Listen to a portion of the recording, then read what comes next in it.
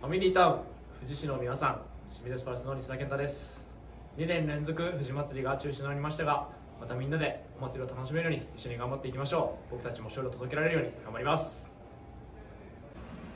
ファミリータウン富士市の皆さん清水エスパルスの達田英吾です、えー大変な状況が続いていますが、えー皆さん元気に毎日過ごしてください、